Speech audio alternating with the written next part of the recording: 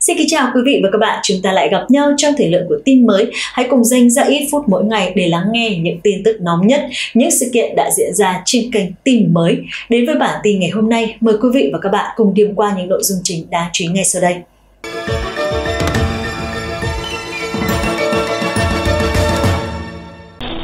Mới đây, chính quyền Trung Quốc đã dùng thuốc nổ phá hủy các tòa nhà cao tới 117 mét trong tích tắc tại các khu vực gần sông và sông Dương Tử vừa qua nhằm ngăn chặn nước lũ tấn công. Cụ thể là vào chiều qua, quân đội Trung Quốc đã cho nổ tung các tòa nhà cao tầng đang ngăn cản các dòng chảy của dòng lũ sau đợt cơn bão số 3 đổ bộ. Trong bối cảnh mưa lớn vẫn tiếp tục diễn ra trong mấy ngày vừa qua, chính ông Tập Cận Bình đã đưa ra chính sách dành cho các quan chức và quân đội của Trung Quốc nổ tung các tòa nhà cao tầng đang ngăn cản dòng chảy của lũ ở thành phố Lạc Dương, tỉnh Hà Nam. Trung Quốc sau khi 1.300 người giải thiệt mạng sau vụ vỡ đập Jahetan ở Hà Nam, hiện con số tử vong đang tăng cao. Tập Cận Bình cho nổ hàng loạt các tòa nhà, các con đập và kẻ đê xả nước là phương án cuối cùng được Trung Quốc sử dụng để kiểm soát dòng nước lũ, bao gồm việc đổi hướng dòng nước và giảm tải sức ép cho hồ chứa. Theo tòa báo Hoàn Cầu Chiến khu Trung ương đã phụ trách địa bàn tỉnh Hà Nam của Trung Quốc cũng đã huy động binh sĩ đến tham gia ứng phó lũ lụt và xử lý vấn đề liên quan đến con đập có thể vỡ bất cứ lúc nào. Vào tối qua, một con đập thành phố Lạc Dương cũng đã xuất hiện vết nứt dài 20 mét ở thân đập.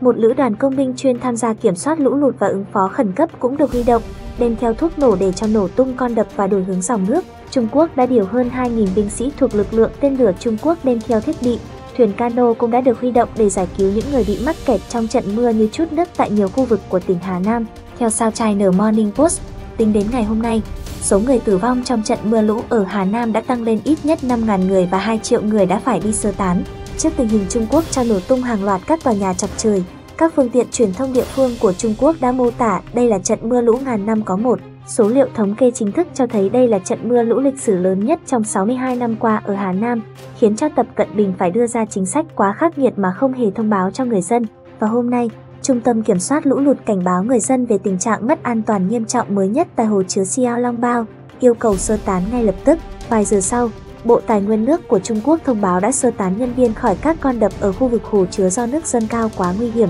Hoạt động thông tin liên lạc của hồ chứa Jahetan đã bị gián đoạn do sóng yếu và không có điện. Khoảng 3.000 người cũng đã bị thiệt hại do chính sách cho nổ tung các tòa nhà của Trung Quốc trước mùa lũ kinh hoàng. Theo giới chức trách, Trung Quốc đã dùng 950 kg thuốc nổ để đánh sập tòa nhà 41 năm tuổi ở một khu vực có bán kính 250 m cũng đã được phong tỏa quanh các tòa nhà trước vụ nổ. Hiện nay, mọi người đã bị cấm vào các khu phố xung quanh vào ban đêm. Theo giới chức trách, mới đầu dự định dần phá hủy các tòa nhà, nhưng sau đó họ đã thay đổi quyết định khi người dân phải đổi việc phá hủy ầm ầm kéo dài và sau khi tòa tháp cũ đã bị phá hủy, hai tòa tháp văn phòng mới sẽ được xây dựng lên cùng ở vị trí. Trong thời gian gần đây, khi con đập Tam Hiệp của Trung Quốc liên tục phải chịu áp lực sau tình trạng mưa lớn vùi dập, gây ra tình trạng lũ lụt tồi tệ nhất trong nhiều thập kỷ qua. Trong những tuần qua, Trung Quốc đã chứng kiến những trận mưa lịch sử cùng bão lớn, gây ra tình trạng lũ lụt tồi tệ nhất tại nước này trong nhiều thập kỷ. Cuối tuần trước, đợt lũ thứ hai đã hình thành ở thượng nguồn sông Dương Tử kèm theo mưa lớn ở hạ lưu. Do hàng loạt các cơn bão thay nhau đổ bộ Trung Quốc cũng đã gây áp lực đối với con đập Tam Hiệp,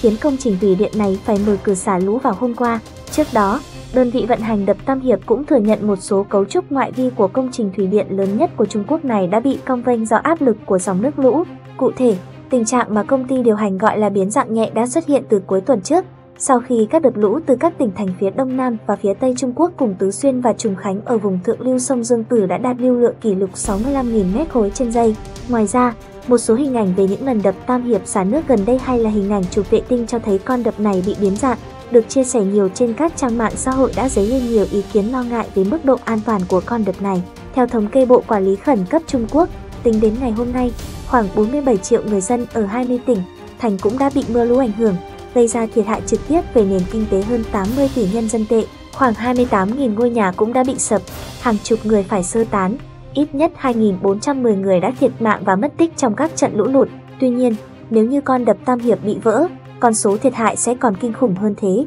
Được xây dựng từ những 1994 đến năm 2006, công trình thủy điện trị giá 31 tỷ đô la và khiến trong 1,4 triệu người phải di rời. Một vấn đề kinh niên mà Trung Quốc phải đối mặt từ thời cổ đại là lũ lụt lưu vực sông Dương Tử đóng góp gần 50 tổng sản lượng nông nghiệp của Trung Quốc và con sông này cũng trải qua nhiều thành phố, trong đó bao gồm thành phố Vũ Hán với 11 triệu dân sinh sống. Trong trường hợp mưa lớn tiếp diễn và những con đập nhỏ hơn, lâu năm hơn, kém an toàn hơn ở khu vực thượng nguồn sông Dương Tử bị tràn và vỡ, thì áp lực rất lớn sẽ đổ về con đập Tam Hiệp, sẽ là thảm họa đối với Trung Quốc nếu như con đập Tam Hiệp thì bị vỡ. Đó sẽ là khoảnh khắc của Trung Quốc khi trận sóng thần tức nước vỡ bờ, và nó sẽ quét sạch hàng triệu mẫu đất canh tác mùa vụ và hàng chục, hàng trăm triệu người sẽ bị cuốn đi, cùng với đó là nguy cơ xảy ra nạn đói. Đập Tam Hiệp là nhà máy thủy điện lớn nhất thế giới, do đó việc con đập này bị vỡ có thể xảy ra tình trạng mất điện trên diện rộng. Những thành phố có hàng triệu người dân sinh sống ở khu vực hạ nguồn sông Dương Tự có thể trở thành những vùng đất mà con người không còn có thể sinh sống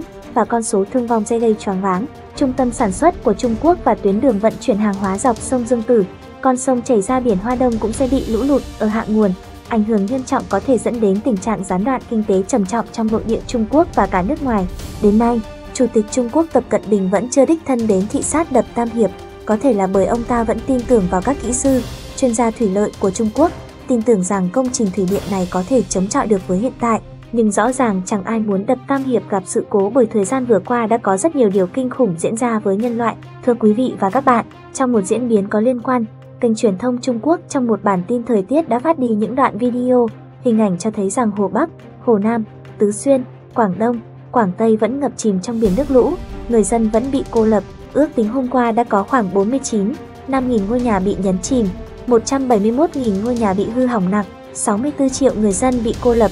Trong đó một số người dân tại vùng biên giới giáp danh với cả Việt Nam có ý định tràn sang đất của Việt Nam để tránh trú. Phóng viên đài Epoch Times đã có một cuộc phỏng vấn ngắn với anh Quang 34 tuổi. Anh cho biết, đoàn của chúng tôi xuất phát từ Hà Nam, chúng tôi đã đi được hai ngày đường. Vào thời điểm này chúng tôi chẳng mong gì hơn, chỉ mong cuộc sống được yên ổn. Quê hương của chúng tôi năm nào cũng ngập lụt, năm nào cũng vỡ đê. Chính quyền chẳng lo lót được gì cho người dân tử tế, thậm chí họ còn phải đi hy sinh những vùng nông thôn như chúng tôi để cứu các thành phố lớn. Thật tình chẳng ai muốn rời bỏ quê hương của mình để đến một nơi xa lạ cả, nhưng cũng vì cuộc sống chúng tôi phải chấp nhận. Hiện tại chỉ có Việt Nam và Đài Loan là hai nơi chúng tôi có thể tới. Tôi có một người em họ đang làm kỹ sư tại nhà máy sản xuất linh kiện ở Việt Nam cũng khá gần biên giới. Tôi đã liên lạc được với cậu ấy sau khi tôi vượt biên sang Việt Nam và cậu ấy sẽ đón lo chỗ ở cho tôi. Thưa quý vị, đây là trường hợp nhỏ trong hàng trăm, thậm chí hàng triệu người Trung Quốc phải bỏ quê hương để tìm mảnh đất mới tránh xa vùng lũ. Tuy nhiên, do dịch bệnh Covid-19 vẫn đang bùng phát mạnh, chính vì vậy mà biên giới Việt Nam vẫn cửa đóng then cài. Các lực lượng chấp pháp, lực lượng bộ đội biên phòng vẫn đang túc trực biên giới ngày đêm 24 trên 24 giờ. Và nếu như phát hiện ra những nhóm người Trung Quốc có biểu hiện vượt biên trái phép sang đất của Việt Nam thì ngay lập tức sẽ bị bắt giữ, trục xuất trả về phía Trung Quốc. Đại tướng Phan Văn Giang đã ban bố lệnh hỏa tốc đến các lực lượng biên phòng, các quân khu, binh chủng tại biên giới không được cảnh giác với nhóm người hung hãn vượt biên của phía Trung Quốc, vì trong thời điểm hiện tại dịch bệnh vẫn đang bùng phát mạnh ở khắp mọi nơi. Chúng ta không thể tin tưởng Trung Quốc, nhất là trong thời điểm này lại càng không. Trung Quốc là nước nham hiểm và xảo trá, có thể lợi dụng tình hình này để đánh phá nước ta nhằm mục đích đen tối. Giúp đỡ Trung Quốc đồng nghĩa với việc tự hại mình, hại đi đồng bào của chúng ta. Ngoài những thông tin trên thì hôm nay tờ báo Bắc Kinh cho hay, chính quyền ông Tập Cận Bình vẫn đem tàu chiến ra ngoài Biển Đông để dương oai, thách thức các nước trên thế giới, mặc cho dân đang rơi vào một tình cảnh lầm than, mưa trồng mưa, bão trồng bão, lũ trồng lũ vẫn tiếp tục xảy ra trên diện rộng ở tỉnh Quý Châu. Tối ngày hôm qua, vào lúc 21 giờ đêm tại tỉnh Quý Châu đã có gió giật trên cấp 15, làm cho điện, đường, trường, trạm bị phong tỏa, đường thì biến thành sông, sông thì biến thành biển, đồ điện gia dụng, các thiết bị như bảng hiệu quảng cáo, thậm chí nhà ở di động cũng bị lũ cuốn trôi ô tô, tủ lạnh trôi lênh láng, người dân không biết phải làm sao, đi không được, ở cũng không xong. Vậy mà chính quyền Bắc Kinh không quan tâm đến mạng sống của người dân, họ vẫn đang tập trận bắn đạn thật ở ngoài Biển Đông để thách thức các nước trên thế giới. Nhiều tin đồn rằng sẽ có những trận mưa to, gió lớn trong một vài ngày tới ảnh hưởng trực tiếp đến siêu đập Tam Hiệp và nó sẽ bị vỡ. Nếu như siêu đập Tam Hiệp của Trung Quốc bị vỡ, nó sẽ nhấn chìm 2 phần 3 diện tích của Trung Quốc ra ngoài Biển Đông. Bản đồ trên thế giới chắc chắn sẽ không còn xuất hiện tên Trung Quốc nữa. Đến lúc đó, thế giới tự khắc sẽ được bình yên. Thưa quý vị và các bạn, cũng theo một nguồn tin có liên quan, truyền thông của Đảng Cộng sản Trung Quốc đưa tin, cơn lũ mới đã gây sạt lở ở thượng nguồn sông Dương Tử, bị ảnh hưởng bởi mưa lớn trong những ngày vừa qua. Những khu vực thuộc thượng nguồn sông Dương Tử như sông Băng Giang, sông Gia Lăng, đập Hương Gia Bá, đập Thống Thang và thậm chí cả khu vực đập Tam Hiệp đều có lượng nước tăng mạnh. Cục Thủy văn thuộc Ủy ban Thủy lợi sông Dương Tử của Bộ Thủy lợi Trung Quốc đã chính thức tuyên bố trên thượng nguồn sông Dương Tử đã hình thành cơn lũ số 3 năm 2023. Dự kiến lưu lượng dòng chảy đập Tam Hiệp trên 65.000 mét khối mỗi giây một con số kinh hoàng. Cục Thủy văn Ủy ban sông Dương Tử đã đưa ra cảnh báo mức độ cao nhất của lũ lụt. Tại hồ chứa Tam Hiệp ra khu vực thống thang thuộc thượng nguồn sông Dương Tử cảnh báo màu cam về lũ lụt tại các đoạn biên dưới hồ Động Đình. Hồ Bà Dương, Thúy Dương và cảnh báo lũ lụt tại sông Kinh Giang. Ngoài ra, hãng thông tấn của Đài Bắc Đài Loan cho hay, do ảnh hưởng bởi mưa lớn liên tục tại khu vực sông Dương Tử, tòa nhà của nhà máy sửa chữa đường đại ở Tân Bình, thôn Bắc Giang, thị trấn Huyết Khê, thành phố Nghi Tân, tỉnh Tứ Xuyên đã bị ảnh hưởng bởi lở đất và lũ quét. Vào khoảng 1 giờ 30 sáng vào qua, một lượng lớn đất đá đã cuốn trôi nhà máy và ít nhất 200 người đã thiệt mạng. Một vụ lở núi cũng được ghi nhận tại xã Thổ Địa, quận Cửu Long, thành phố Trùng Khánh. Đây cũng là một khu vực nằm ở thượng nguồn sông Dương Tử. Theo báo cáo, vụ lở núi đã chặn ngang lòng sông Thiên Hạ ở địa phương tạo thành một hồ nước tạm thời với khối lượng nước là 420.000 mét khối và đang có hiện tượng dò dỉ nước gây nguy cơ vỡ bờ hồ bất cứ lúc nào. Tại Kiến Thụy tỉnh Hồ Bắc thuộc khu vực hồ chứa Tam Hiệp, vào sáng ngày hôm qua mưa như chút nước đã khiến cho khu vực nội thành bị ngập lụt. Chính quyền huyện đã tiến hành công tác ứng phó khẩn cấp, kiểm soát lũ lụt cấp 1, đập Tam Hiệp có thể tồn tại trong bao lâu nữa. Trên thực tế, cho tới nay, mức độ an toàn của con đập vẫn đang là vấn đề gây tranh cãi trong một thời gian dài. Các phương tiện truyền thông chính thức của Đảng Cộng sản Trung Quốc cũng đã thừa nhận rằng đập Tam Hiệp đang có hiện tượng dịch chuyển dò dỉ, biến dạng nhưng không tiết lộ dữ liệu chi tiết. Sau đó, một đoạn video mô phỏng vỡ đập Tam Hiệp được đăng tải lên mạng xã hội. Theo những giới thiệu của video, nếu đạt Tam Hiệp vỡ, lũ lụt cao gần 100m sẽ được giải phóng với tốc độ hơn 100 km/h. Trong vòng 30 phút sau khi vỡ đập, trận lũ sẽ phá hủy đập Các Châu đến thành phố Nghi Sương với tốc độ 70 km/h. Trận lũ sẽ phá hủy cả Nghi Sơn trong vòng 5 giờ tới. Mực nước ở Nghi Sơn sẽ cao tới 10 mét. Video này đã gây xôn xao trên mạng xã hội, thế nhưng phía chính quyền Trung Quốc lại không đưa ra bất kỳ phản hồi nào. Một nhân viên kiểm soát lũ tuyến đầu của tỉnh An Huy sau khi xem video, ông cho rằng video này rất có thể là do một bộ phận giới chức chính phủ của Trung Quốc làm ra, bởi vì những người bình thường không thể đưa ra những suy đoán chuyên nghiệp như thế. Nhưng tại sao quan chức chính phủ lại phát hành video này và đưa nó lên Internet để lưu hành? Ông nói rằng ông không rõ nguyên nhân. Do đó, tình hình kiểm soát lũ ở Trung Quốc đang vô cùng nghiêm trọng. Điều gì sẽ xảy ra nếu một siêu lũ khác ở thượng nguồn đập Tam Hiệp bùng phát? Điều này quả thật khiến cho ngoại giới lo lắng. Bùng phát, điều này quả thật khiến cho ngoại giới lo lắng. Bùng phát.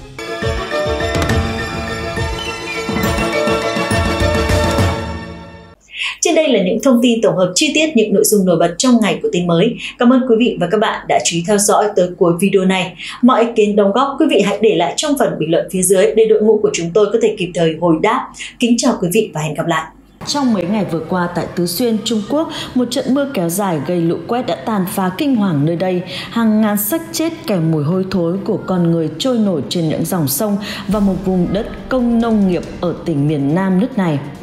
Theo Nhân dân Nhật Báo Online cho biết, Cơ quan Y tế và An toàn của tỉnh Quảng Tây đang xử lý và khử trùng khoảng 1.600 xác chết sau khi nước lũ tràn ngập qua các vùng hạ lưu, làm rất nhiều người và gia súc chết. Được biết, các khu vực nằm trong một thung lũng ở thành phố Tô Châu được bao quanh bởi các dãy núi thẳng đứng nên mực nước dâng cao lên nhanh chóng sau những trận mưa như chút nước không ngừng. Hình ảnh của các tòa nhà trang trại ở thung lũng hẻo lánh bị ngập lụt đã nhanh chóng được chia sẻ trên mạng xã hội của Trung Quốc cho thấy hàng ngàn xác chết trôi nổi cùng với rác thải và các mảnh vỡ thật đáng sợ. Các chuyên gia thời tiết cho biết lượng mưa gần 400mm rơi xuống chỉ trong vòng 20 giờ gây lũ quét khắp khu vực. Trong một số trường hợp, nông dân đã tìm cách để đưa súc vật đến những nơi an toàn. Nhưng tại trại lợn ở Giao Đại Hóa, các nhân viên trong trại đã không thể sơ tán kịp thời. Một nhân viên nói, mực nước tăng từ 0 đến hơn 1 mét chỉ trong vòng vài phút và chúng tôi không biết phải làm gì và cuối cùng chúng tôi phải chứng kiến cảnh hàng chục nghìn xác chết của động vật bị cuốn trôi theo dòng nước lũ.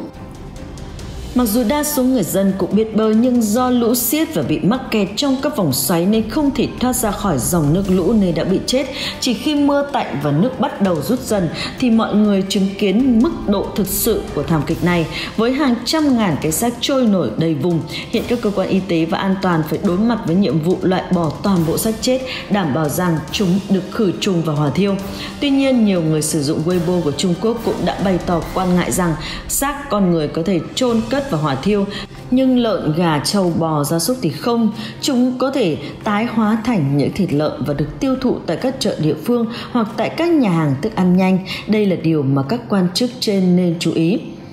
Các quan chức nhấn mạnh rằng tất cả các xác sẽ được xử lý và hứa rằng họ sẽ không để bất kỳ ai đưa thịt chúng lên bàn ăn. Được biết, trận mưa lớn đã gây ra lũ lụt liên tục cho 40 quận tại 10 thành phố ở Tứ Xuyên và Hồ Bắc. Vũ Hán của Trung Quốc, làm cho gần 10.000 người chết và 2.000 người khác bị mất tích. Theo ước tính, tổng số gần 6 triệu người và 4.900 ha cây nông nghiệp bị ảnh hưởng. Trung tâm Khí tượng Quốc gia Trung Quốc đã nâng cấp cảnh báo mưa lũ lên cấp 3 ở một số tỉnh miền Tây nước này sau khi diễn biến thời tiết đột ngột xấu trở lại. Theo Tân Hoa Xã, dự báo những trận mưa cực lớn cũng sẽ chút xuống ở các khu vực địa bàn và các tỉnh Cam Túc, Ninh Hạ, Thiểm Tây, Sơn Tây, Hà Bắc, Liêu Ninh, Vân Nam, Quảng Tây và Tứ Xuyên thuộc phía Tây Trung Quốc. Một số nơi có khả năng xuất hiện lượng mưa trên 200 mm một giờ kèm theo rông, lốc, gió giật mạnh rất nguy hiểm. Bộ Thủy lợi Trung Quốc đã ban hành cảnh báo màu cam về lũ lụt tại các địa bàn thuộc tỉnh Tứ Xuyên, Thiểm Tây, Cam Túc. Chính quyền các địa phương cũng đã khuyên cáo người dân nâng cao cảnh giác với lũ lụt, lở đất, lũ bùn, những hoạt động ngoài chợ ở khu vực dễ xảy ra thiên tai bị cấm hoàn toàn cho tới khi có thông báo mới. Mưa lụt đã khiến cho hơn 600.000 người dân Tứ Xuyên phải sơ tán. 31 con sông trên địa bàn tỉnh này hiện đã vượt quá cảnh báo lũ. Từ đầu tháng 8 tới nay, tình trạng lũ lụt nghiêm trọng ở Trung Quốc đã xảy ra ở các tỉnh phía Nam, khiến gần cho 25.000 người thiệt mạng và mất tích, 31 triệu người bị ảnh hưởng và thiệt hại kinh tế lên đến 25,78 tỷ đô la Mỹ. Trong lịch sử Trung Quốc, lũ lụt luôn là một loại thiên tai gây thiệt hại nghiêm trọng nhất cho người dân. Có nhiều nguyên nhân gây ra tình trạng lũ lụt tồi tệ ở Trung Quốc, trong đó phải kể đến các yếu tố như khí hậu, địa hình và sự phân bố dân cư. Theo CCTN, Trung Quốc có 5 vùng khí hậu, hầu hết khu vực phía đông và phía nam của nước này nằm trong khí hậu nhiệt đới, cận nhiệt đới và gió mùa. Điều này đã khiến khí hậu ở các vùng này trở nên nóng ẩm, gây ra mưa lớn thường xuyên, kéo dài từ tháng 7 đến tháng 9 hàng năm, tăng khả năng xuất hiện lũ lớn. Năm nay, lượng mưa ở khu vực phía đông nam của Trung Quốc đã cao hơn đáng kể so với những năm trước đây. Còn ở lưu vực sông Dương Tử, lượng mưa trung bình năm nay cao nhất trong vòng 60 năm qua, khiến lũ lụt trở nên tồi tệ hơn. Về địa hình, địa hình Trung Quốc hình thành từ các cao nguyên đồng bằng, bồn địa, đồi núi. Địa hình Trung Quốc phía Tây thấp hơn ở phía Đông giống như một cầu thang ba bảng. Theo Cục Khí tượng Trung Quốc vào năm 2012, khoảng 738.000 mét vuông đất bao gồm hầu hết các khu vực phía Nam và phía Đông của Trung Quốc đều thấp hơn mực nước lũ ở các con sông chảy qua vùng đồng bằng. Trong mùa lũ, những khu vực này dễ bị ngập lụt nếu vẽ một đường thẳng từ thành phố Hà Bắc, Hắc Long Giang đến thành phố Đằng Sung, Vân Nam, ta sẽ thấy rõ một con đường gọi là đường hồ xuất hiện trên bản đồ. Đường hồ bao gồm các hồ lớn, nhỏ liên tiếp nhau. Trung Quốc có lịch sử nông nghiệp hàng nghìn năm. Từ thời cổ đại, người Trung Quốc đã sống phụ thuộc vào nông nghiệp. Việc sống sát các hồ lớn đảm bảo mùa màng bội thu vì có nguồn nước dồi dào và đất đai màu mỡ. Vì vậy, ở Trung Quốc, những tỉnh thành có sông hồ lớn luôn thu hút nhiều người tới định cư. Các thành phố với dân số hơn 10 triệu người bao gồm Thượng Hải, Trùng Khánh, Quảng Châu, Vũ Hán đều nằm ở phía đông của đường hồ. Đây là nơi sinh sống của hàng chục triệu người và có ý nghĩa kinh tế rất lớn. Tuy nhiên, việc xây dựng sát bờ sông khiến diện tích đầm nước ven sông bị mất đi nước lũ, vì vậy chảy xiết hơn, dễ tràn vào các khu đô thị và gây thiệt hại nghiêm trọng dãy mây mai cũng kết hợp với biến đổi khí hậu được cho là nguyên nhân lớn nhất khiến mưa lũ năm nay ở Trung Quốc kéo dài và nghiêm trọng hơn. Kính thưa quý vị khán giả, trong một diễn biến khác có liên quan gần đây ở Trung Quốc đại lục liên tục chìm trong thời tiết cực kỳ khắc nghiệt. Nếu buổi trưa đột nhiên cuồng phong bão tố nổi lên thì kế tiếp lại là sấm chớp kinh người kéo dài hàng tiếng đồng hồ. Trong khi một số khu vực khác thì mưa đổ như thác thay vì xét đánh xuống đất như quy luật tự nhiên phải thế nhưng tại thành phố Tương Hưng, Trung Quốc lại xuất hiện hơn 10.000 lượt xét đánh trồng ngược lên trời. Theo báo Daily Mail đưa tin vào ngày hôm qua tại thành phố Tô Châu, tỉnh Giang Tô, miền đông Trung Quốc đang phải hứng chịu một trận bão với mưa lớn và sấm sét. Camera giám sát đã quay được cảnh người đàn ông họ Jan đang đứng trên chiếc thuyền của mình thì bất ngờ bị tia sét cực mạnh giáng xuống. Sau cú đánh, nạn nhân đã ngã ngửa về phía sau với những người xung quanh cùng nhân chứng trong chiếc xe hơi đang đi ngang cho biết việc xảy ra quá đột ngột đã làm cho họ kinh hoàng và sốc thuyền của nạn nhân xếp cùng với dãy của nhiều thuyền khác bên dưới lòng cầu sau khi bị xét đánh trúng và được xe cứu thương đưa tới bệnh viện nhanh chóng nhưng nạn nhân Jan vẫn không thể qua khỏi do bị thương quá nặng. Kính thưa quý vị, những tia sét ngược này tạo ra một quang cảnh kỳ lạ trong cơn rông bão khi ngọn sét hình thành trên mặt đất và đạt nhiều tia trên trời. Cảnh tượng vô cùng kỳ quái, đầu tiên xuất hiện tại Trung Quốc đồng thời độ sát thương vô cùng cao, gây nguy hiểm đến tính mạng. Rất nhiều người dân Tương Hương cũng xôn xao đăng tải các thông tin mô tả cơn rông và hàng chục ngàn tia sét kinh người này lên mạng xã hội. Cụ thể, trong các video được người dân quay lại có thể thấy được những tia sét kỳ lạ này hình thành trên đỉnh của các tòa nhà chọc trời sầm uất tại Tương Hưng. Chúng đánh ngược lên những đám mây ở độ cao hơn 9.000 mét. Theo Reuters vào buổi sáng ngày hôm nay thì Tương Hương thời tiết rất nóng, buổi trưa nhiệt độ gần 35 độ C, sau đó liên tiếp trong 8 giờ tiếp theo, Tương Hương đột nhiên có mưa rông kéo đến sấm sét đùng đùng cùng với mưa như chút nước. Theo thống kê được công bố sáng nay bởi Trung tâm Kỹ thuật Phòng chống thiên tai của Cục Khí tượng Tương Hương, từ khoảng 19 giờ 45 phút đến 23 giờ tối cùng ngày, có lần xét đánh ở Tương Hương có tới gần 10.207 lần với trung bình 120 tia sét một phút. Hiện tại chưa có báo cáo đầy đủ về thương vong, nhưng hiện tượng kỳ dị này đã khiến Tương Hương mất điện trên diện rộng và đây chắc chắn là sẽ lưu đầy sổ sách về thảm họa thiên tai hiếm gặp tại Trung Quốc. Một công dân sống tại quận Hán Khẩu, Tương Hương đã nói với Reuters rằng thật kinh hoàng, lần đầu tiên trong đời tôi chứng kiến cảnh tượng sấm sét ngập trời như vậy. Tôi cứ tưởng rằng có một vụ nổ đã phá hủy nhà hàng xóm của tôi. Nó làm tôi sực tỉnh dậy và cứ tưởng rằng là động đất. Năm nay đúng là một năm đầy bất thường. Cũng có cư dân mạng khác nói rằng đang ăn cơm tối thấy tự nhiên sét đánh từ dưới mặt đất lên và thấy kỳ lắm rồi kèm theo cả âm thanh vô cùng to, nghe giống như một vụ nổ vậy. Bình thường thì bản thân vốn không hề sợ sấm chớp, nhưng lần này hàng ngàn tia sét thi nhau chiếu sáng cả bầu trời đêm vì bị dọa cho đến sợ khiếp vía. Vì sét đánh trong trời rông bão không còn là điều lạ lẫm với nhiều người. Tuy nhiên trong năm 2002 này, hiện tượng này tại Trung Quốc đang khiến cho nhiều người lo ngại cho sự phát triển của ngành công nghiệp điện gió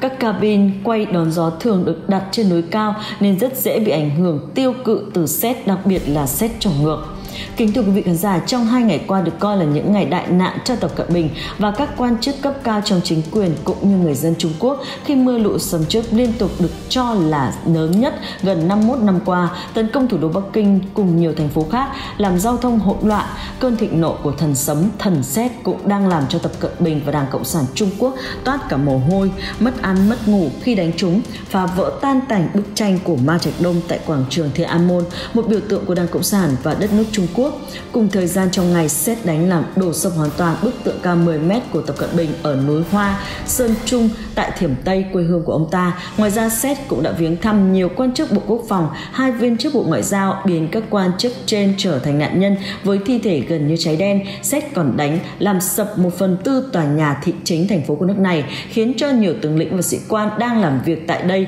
thiệt mạng trong đó có nhiều viên tướng diều hâu chuyên kích động thúc đẩy cuộc chiến với Đài Loan và Việt Nam. Thảm họa trên làm cho hơn 540 người dân tại nhiều tỉnh thành trên cả nước mưa to dòng dã từ đầu tháng 9 vừa qua tiếp tục làm cho Trung Quốc bị ngập chìm trong biển nước, động đất làm vỡ đê cùng hàng loạt dị tượng khác bắt đầu ứng nghiệm.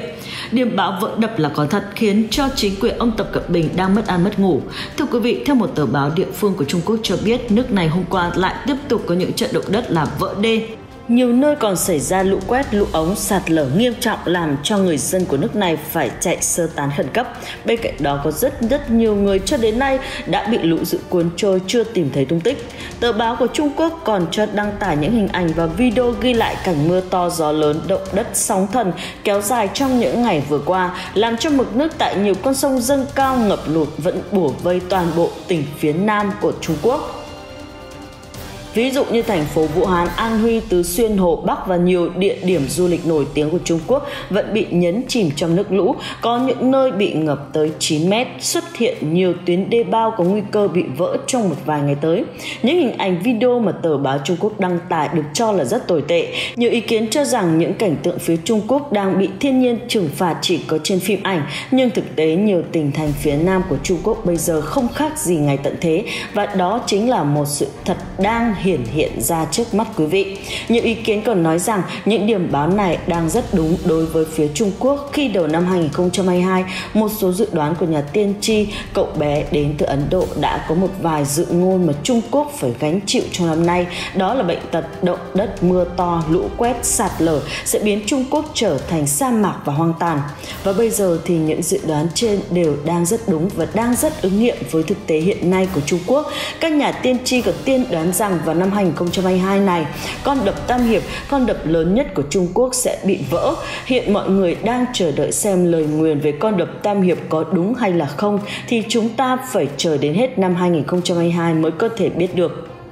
Thưa quý vị, theo các nhà chuyên môn chuyên theo dõi về tình hình kinh tế, chính trị xã hội của Trung Quốc cho biết, tính từ đầu tháng 4, Trung Quốc đã sống trong bóng tối, không có ánh dương, sự sống của mặt trời bởi vì bầu trời của Trung Quốc đại lục đang liên tục u ám. Hàng triệu người dân của Trung Quốc nói rằng trong 24 ngày đêm vừa qua, họ chỉ nhìn thấy nước lũ và cảnh tượng vỡ đê, vỡ đập xảy ra chứ họ không hề nhìn thấy ánh sáng, ánh nắng của mặt trời. Mở mắt ra chỉ toàn nước và đồ đạc bị nước lũ cuốn trôi nổi. Ô tô đi trên nước và bơi trên nước có đến hàng triệu chiếc. Điều này cho thấy rằng Trung Quốc đang bị quả báo đến và Trung Quốc đang bị nhân quả báo ứng, đang bị mẹ thiên nhiên trừng phạt, đang bị đất trời thay thế cho thế giới, giáng tội vì những tội lỗi mà ông Tập Cận Bình đã gây ra cho thế giới.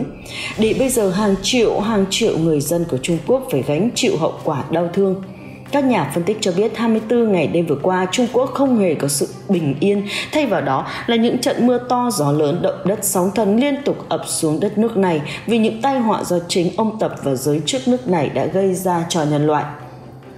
Phải chăng mẹ thiên nhiên đang chút những cơn giận dữ, giáng những đòn đau để trừng phạt như những lời cảnh báo đến đất nước này, mục đích là để giúp ông Tập Cận Bình cảnh tỉnh bớt đi gây gổ, bắt nạt, gây hấn trên Biển Đông, cũng như bớt đi xâm chiếm lãnh thổ lãnh hải trên biên giới các nước trong khu vực và bớt đi gieo rắc những cái mầm tội ác cho thế giới. Thưa quý vị, có một thông tin được cho là rất xấu đối với cả Trung Quốc khi vào ngày hôm qua vào lúc 10 giờ 38 phút theo giờ địa phương, Trung tâm Địa chất của Trung Quốc cho biết thành phố Hòa Bắc của Trung Quốc đã xảy ra trận động đất mạnh với cường độ lên tới 6,9 độ Richter. Tâm chấn nằm ở độ sâu 9 km và hiện tại vẫn chưa có thông tin chính xác bị thiệt hại do trận động đất trên gây ra.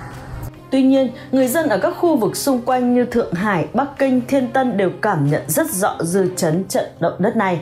Theo nhân chứng của người dân nơi đây cho biết, nơi đây trong lịch sử đã từng xảy ra 3 trận động đất lớn với cường độ 4,3 độ Richter, 6,1 độ Richter và một trận động đất được cho là kinh hoàng nhất vào năm 1995. Khi đó, trận động đất đã có cường độ lên tới 7,9 độ Richter, khiến cho gần 169 người dân của Trung Quốc bị mất tích và đó được cho là một điều cực kỳ kinh khủng cũng như tồi tệ nhất hiện nó vẫn ám ảnh của người dân nơi này. Nhiều người đã tiếc thương cũng như là thông cảm cho sự không may mắn của những người dân xấu số Trung Quốc. Tuy nhiên trước đó đã có những hiện tượng lạ, điểm báo xấu như quạ bay đầy trời, hàng triệu con châu chấu từ châu Phi bay qua năm tỉnh của Trung Quốc, bầu trời Bắc Kinh liên tục hứng chịu các đại thảm họa. Theo Trung tâm chuyên nghiên cứu về động đất sóng thần Trung ương cho biết, trong một vài ngày tới Trung Quốc có nhiều khả năng sẽ còn xuất hiện thêm 1 đến 3 trận động đất nữa và nếu như thời tiết cực đoan không chấm dứt thì điều này rất có thể xảy ra. Đứng trước những mối nguy hiểm và cấp bách kể trên, trung tâm này đã phát đi thông báo khẩn cấp với chính quyền ông Tập Cận Bình và toàn bộ 1,4 tỷ dân của Trung Quốc biết nhằm phòng chống những điều tồi tệ sẽ xảy ra. Hiện giới chức Trung Quốc đang rất lo lắng, tuy nhiên họ không biết phải làm sao bởi vì họ không thể đánh bại được sự nổi dậy, sự trừng phạt của mẹ thiên nhiên và của đất trời. Thưa quý vị, Trung Quốc trong 24 ngày đêm vừa qua liên tục xuất hiện mưa to, gió lớn, động đất, sóng thần, khiến cho giới chức của nước này đang mất ăn mất ngủ. Và trong một bài phát biểu mới đây tại thủ đô Bắc Kinh, đích thân người đứng đầu Trung Quốc, Chủ tịch Tập Cận Bình đã nói rằng tình hình kiểm soát lũ lụt ở đất nước này đang gay go và bước vào giai đoạn nguy hiểm nhất trong lịch sử, đề nghị các cơ quan ban hành và người dân phải hết sức cẩn trọng Tờ báo China Morning Post, một trong những tờ báo nổi tiếng của Trung Quốc đã trích dẫn lời ông Tập Cận Bình, Chủ tịch Trung Quốc đã kêu gọi nỗ lực toàn diện trong các hoạt động cứu hộ, cứu trợ tại những khu vực bị ngập lụt trên khắp đất nước này, nhấn mạnh rằng đảm bảo cuộc sống và an toàn của người dân là ưu tiên hàng đầu. Được biết đây là lần đầu tiên Chủ tịch Trung Quốc ông Tập Cận Bình lên tiếng nói rằng sẽ bảo vệ cuộc sống cũng như an toàn của người dân Trung Quốc đại lục. Trước tình hình mưa to, gió lớn, động đất, sóng thần liên tiếp xảy ra, trước đó ông Tập Cận Bình được cho là không quan tâm tới người dân của Trung Quốc khi vẫn đem hải quân Trung Quốc tiến ra ngoài Biển Đông để tập trận bắn đạn thật và phóng tên lửa thị uy sức mạnh, uy hiếp các nước trong khu vực. Từ đó đã bị các nước trong khối ASEAN cũng như cộng đồng trên toàn thế giới lên tiếng phản đối. Tờ báo của Trung Quốc cho biết ông Tập Cận Bình đã chỉ thị cho chính quyền địa phương ở vùng lũ thực hiện trách nhiệm của mình lên tuyến đầu để kiểm tra tình hình bảo vệ tốt hơn tính mạng và tài sản của người dân. Ông Tập Cận Bình còn nói rằng các bộ phận liên quan tăng cường lập kế hoạch phối hợp tổng thể cũng như phân bổ lực lượng cứu hộ và cứu trợ thảm họa một cách khoa học nhất. Chủ tịch Trung Quốc cũng kêu gọi quân đội giải phóng nhân dân Trung Hoa và lực lượng cảnh sát vũ trang của nước này tích cực tham gia và công cuộc cứu trợ cứu hộ cho người dân. Các bộ phận liên quan được chỉ thị lên kế hoạch tái thiết sau thảm họa, khôi phục trật tự sản xuất và cuộc sống cần sớm trở lại bình thường thì càng tốt sau khi đẩy mạnh nỗ lực kiểm soát lũ lụt và công tác cứu trợ thiên tai. Tờ báo của Trung Quốc cho biết trong những ngày gần đây lũ lụt làm mực nước dâng cao lên hầu hết tại các tỉnh phía nam của Trung Quốc và đứng trước tình hình đó chính phủ của nước này đã nâng mức ứng phó khẩn cấp lũ lụt từ cấp 3 lên mức độ cao nhất, tức là cảnh báo đỏ. Tất cả các tỉnh như Hồ Nam, Hồ Bắc Giang Tô, Giang Tây, Quảng Đông, Quảng Tây đều nâng mức độ cảnh báo lên cấp cao nhất. Được biết, mưa lũ ở Trung Quốc đã ảnh hưởng tới khoảng 60 triệu người dân trên nhiều tỉnh thành. Lũ lụt cũng cuốn trôi nhiều nhà cửa, ô tô, xe máy, điện thoại, tivi, tủ lạnh, giường chiếu. Được biết, các tỉnh ảnh hưởng nặng nhất của Trung Quốc là tỉnh Vũ Hán, Hồ Bắc, Hồ Nam, Tứ Xuyên. Tổng cộng đã có 293 người thiệt mạng và mất tích vì lũ lụt. Đây là một trong những tín hiệu cực xấu cho phía Trung Quốc. Trước đó, thì Trung tâm Dự báo Khí tượng Thủy văn Trung ương của nước này cũng ra một cảnh báo mới rằng Trung Quốc tiếp tục hứng chịu những trận mưa to gió lớn trong những ngày tới, đặc biệt là những ngày đầu cho đến có thể là hết tháng 10 năm 2022 để phòng lũ quét sạt lở, an nguy tới con đập Tam Hiệp. Thưa quý vị, tin tức Bắc Kinh trích dẫn thông tin từ một chuyên gia trung tâm mạng lưới động đất sóng thần của nước này cho biết trận động đất 5,1 độ Richter vào sáng ngày hôm qua là một trong những dư chấn từ những năm 1976. Tâm chấn của trận động đất trên được xảy ra tại huyện Đường Sơn, tỉnh Hà Bắc của Trung Quốc. Đường Sơn từng bị tàn phá trong trận động đất 7,9 độ Richter vào năm 1976, khiến cho hơn 240.000 người thiệt mạng và hơn 160.000 người bị thương. Đây là một trong những trận động đất khủng khiếp nhất trong lịch sử của Trung Quốc. Theo Trung tâm tâm mạng lưới động đất của Trung Quốc cho biết trong 4 tháng đầu năm 2022 đã có tới 12 trận động đất từ 3 độ Richter trở lên đã xảy ra, khiến cho cuộc sống của người dân liên tục trao đảo. Đầu năm thì dịch bệnh Covid-19 tàn phá, bây giờ thì mưa to, sóng lớn, động đất, sóng thần liên tục xảy ra khiến cho tất cả 24 tỉnh thành phía Nam của Trung Quốc sống trong nỗi lo âu. Đây chính là cái giá mà Trung Quốc đang phải trả cho những tội lỗi về những đường lối sai trái mà ông Tập Cận Bình gây ra.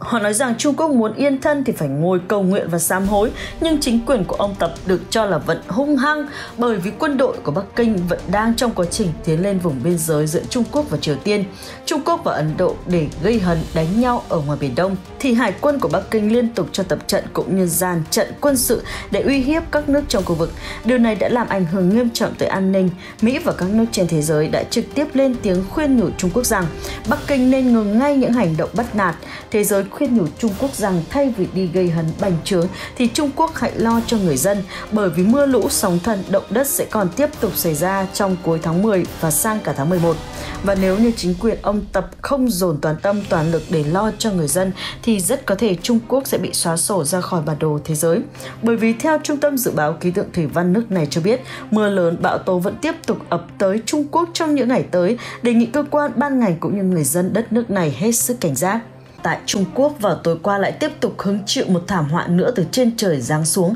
khi ba tiểu hành tinh còn gọi là thiên thạch đã lao ra khỏi quỹ đạo và lao thẳng xuống trái đất. Điều kỳ lạ đến một cách khó tin là cả ba đều rơi nhằm vào các địa điểm tại ba nơi khác nhau của Trung Quốc như bán đảo Lôi Châu, Thiểm Tây và cao nguyên Tây Tạng gây thiệt hại về người và tài sản tại các khu vực này. Diễn biến của thảm họa mang màu sắc tâm linh này diễn ra ra sao? Mời quý vị khán giả lắng nghe bản tin cập nhật mới nhất của chúng tôi. Kính thưa quý vị, từ trước tới nay, hiện tượng thiên thạch rơi là điều thường gặp tại Trung Quốc, đặc biệt là trong vòng hơn năm qua, trong khi có những vụ thiên thạch rơi đem lại cho người ta sự may mắn và bỗng dưng trở thành triệu phú đổi đời chỉ sau một đêm thì phần lớn nó đem đến tai họa bi kịch cho con người với những hậu quả khủng khiếp mà nó để lại. Điển hình vào ngày 15 tháng 2 năm 2013, một khối thiên thạch từ vũ trụ lao xuống vùng Chelyabinsk thuộc miền trung nước Nga vào khoảng 9 giờ sáng. Nó bốc cháy trong khí quyển gây nên những tiếng nổ lớn kèm theo ánh sáng chói lòa trên bầu trời. Vụ nổ đã khiến ít nhất 1.200 người bị thiệt mạng và bị thương, gây thiệt hại vật chất hàng chục triệu đô la. Sang chấn từ vụ nổ khiến hàng vạn cửa sổ trong vùng vỡ tan, phần lớn nạn nhân bị thương nhẹ do các mảnh vỡ kính văng vào cơ thể hay là vào sáng ngày hôm qua tại khu tự trị Ngọc Thụ Thanh Hải cũng có một vụ thiên thạch rơi xuống. Lúc đó bầu trời vẫn còn tối, quả cầu lửa cháy xiên bầu trời từ bắc chí nam phát ra ánh sáng vô cùng rực rỡ, mặt đất sáng rực như ánh sáng ban ngày kèm theo những âm thanh như sấm sét. Người dân địa phương thậm chí còn cảm thấy chấn động từ không trung và mặt đất. Và đêm hôm đó, một điểm sáng kỳ dị màu đỏ kỳ lạ đã xuất hiện trên bầu trời Thanh Hải kéo dài gần một giờ đồng hồ. Rồi đến lúc 7 giờ 51 phút sáng nay, một trận động đất có cường độ 4 độ Richter đã xảy ra tại huyện Mã Đa, châu Quả Lạc, tỉnh Thanh Hải, gây thiệt hại lớn cho người và của tại đây. Trong một diễn biến có liên quan vào khoảng 7 giờ tối qua, ba tiểu hành tinh tựa như ba thiên thạch sau khi đã lao ra khỏi bầu khí quyển với tốc độ cực nhanh ước tính khoảng 14 km trên giây. Ba thiên thạch này đã rơi xuống tại ba khu vực khác nhau ở các huyện Tây Tạng, bãi đảo Lôi Châu và tỉnh Thiểm Tây, quê hương của ông Tập Cận Bình. Khi lao vào khí quyển, một trong ba thiên thạch đã phát nổ ở độ cao 10 km với năng lượng tương đương khoảng 1.000 tấn chất nổ TNT, tạo nên quả cầu lửa lớn có thể quan sát từ khoảng cách 1.000 km và tiểu hành tinh này rơi xuống khu vực Tây Tạng, trúng ngay vào nhà ông bí thư khu tự trị Vương Hoàng, làm cho cả gia đình ông ta và hơn 20 binh sĩ đồn trú quân quanh khu vực dinh thự ông ta thiệt mạng. Trong khi đó, hai thiên thạch còn lại rơi xuống Thiểm Tây và bán đảo Lôi Châu với nguồn năng lượng có trong hai thiên thạch khi phát nổ ước tính tương đương với vụ nổ của 210.000 tấn thuốc nổ TNT, để lại hai hố sâu với kích thước ước tính chừng 170 m, tạo ra hai miệng hố rộng 1.200 m và đường kính gần khoảng 2 km. Vụ nổ tại bán đảo Lôi Châu đã phá hủy hoàn toàn một căn cứ quân sự và làm thiệt mạng khoảng 7.500 quân, phá hủy hoàn toàn cơ sở vật chất, trang thiết bị quân sự, vũ khí cốt loại, gây thiệt hại nặng nề cho quân đội giải phóng nhân dân Trung Quốc